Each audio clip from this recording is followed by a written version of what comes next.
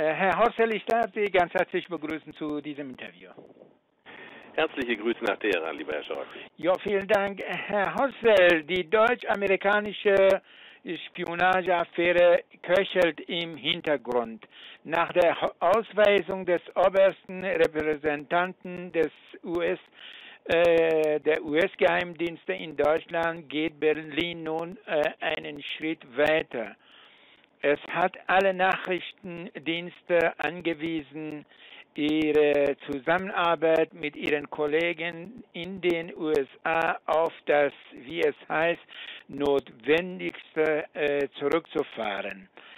Äh, halten Sie, Herr Horstel, die Ausweisung äh, dieses äh, US-Geheimdienstler aus Deutschland für eine angemessene Reaktion der Bundesregierung? Ja, das äh, muss man wohl so sehen. Nicht? Wir haben ja äh, eine weltweite, ganz normale diplomatische, außenpolitische, geheimdienstliche Praxis. Wenn einer auffällt durch Spionage in ein anderes Land, dann äh, schmeißt man die Leute raus. Ja, ganz, ganz einfach.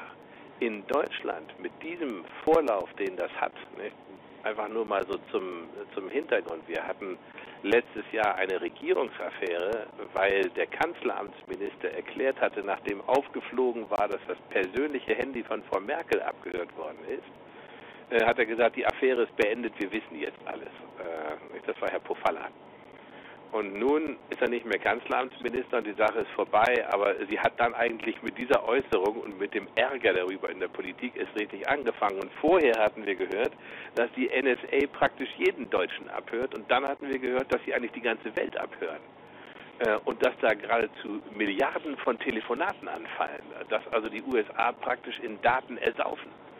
Und diese ganze äh, Situation führt dann dazu, dass man eben nicht nur einen beteiligten Agentenführer, also einen untergeordneten Spion in einer Botschaft rausschmeißt oder auch zwei oder drei, das ist alles normal, sondern dass man schließlich sagt, jetzt muss der Chef seinen Hut nehmen in der Botschaft und dann geht der sogenannte Chief of Station, so heißt das, also der Stationschef, der, der Chef der CIA-Station in Deutschland muss dann raus. Und das ist nun passiert völlig angemessen. Also bei einer so gravierenden Geschichte, Merkels Handy abgehört und dann noch nachträglich, nachdem das passiert ist, weitere Agenten gefunden, hätte man auch äh, diplomatische Schritte, also auf Botschafterebene sich vorstellen können.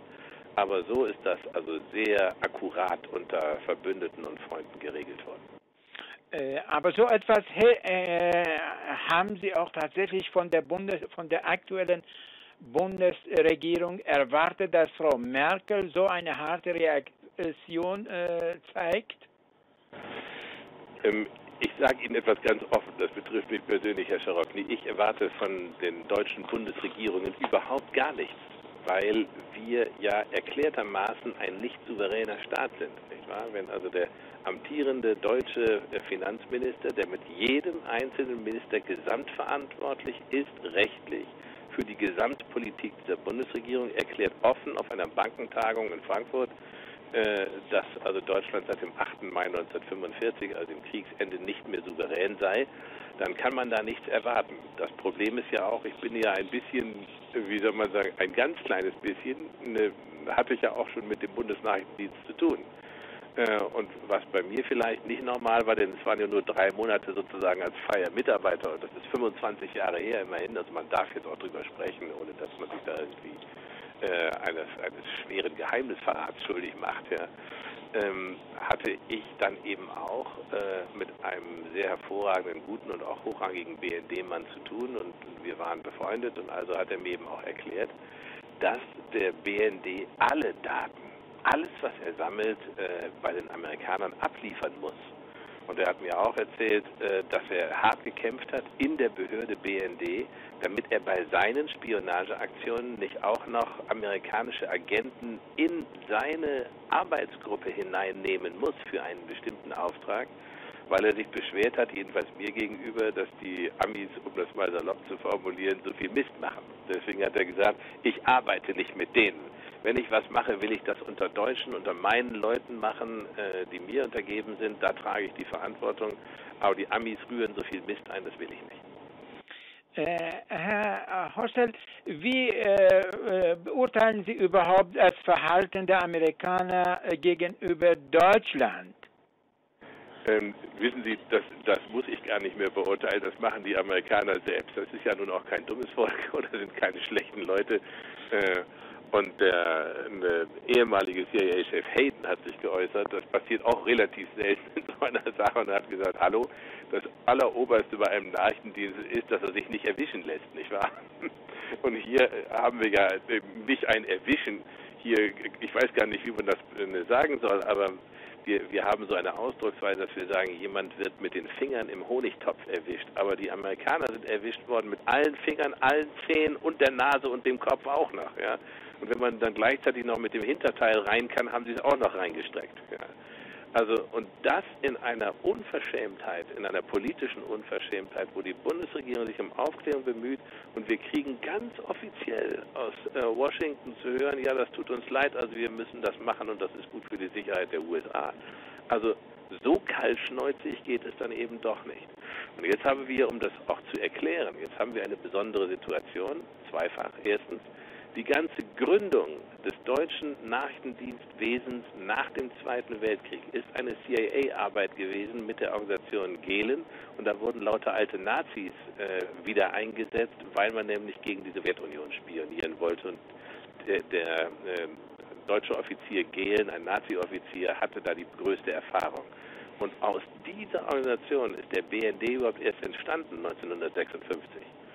Mm, äh, und die haben 46 oder 47 äh, ihr Büro in Pullach, wo sie dann jahrzehntelang gesessen haben, bis heute äh, bezogen.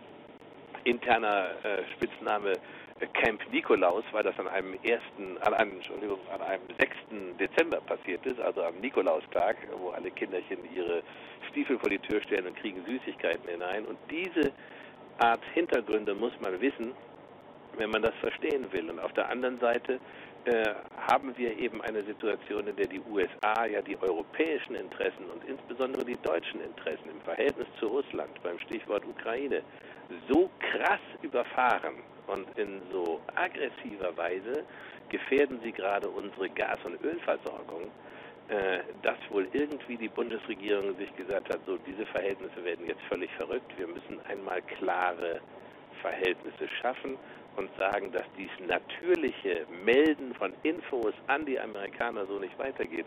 Ich will nur ganz kurz erinnern an die Affäre äh, um den ehemaligen Außenminister äh, Guido Westerwelle, dessen persönlicher Referent äh, erwischt worden ist, wie er intensiv Daten an die amerikanische Botschaft weitergegeben hat.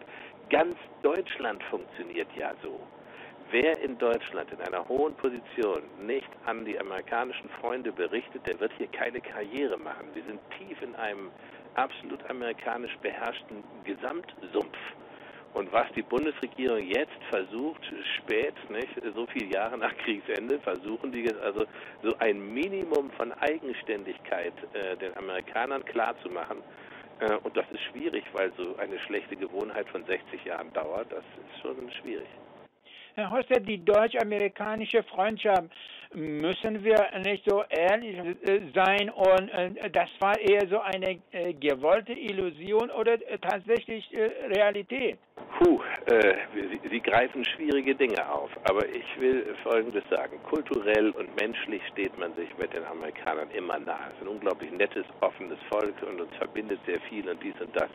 Aber eigentlich und tatsächlich muss uns doch klar sein, dass ja der Zweite Weltkrieg nicht gegen Adolf Hitler geführt wurde, sondern gegen Deutschland.